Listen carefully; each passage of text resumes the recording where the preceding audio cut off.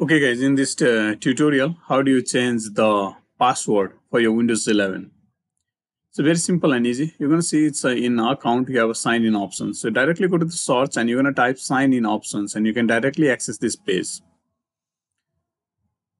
Come down to the password, click on drop down icon and click on change. Here you're going to enter your old password.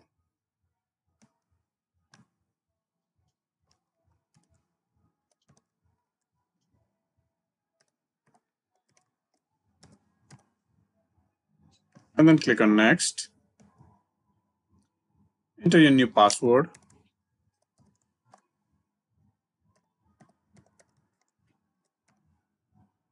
Confirm the new password.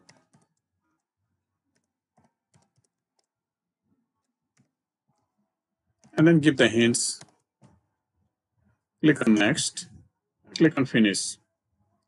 Now you're all done. Now you can log in your Windows 11 with a new password next time.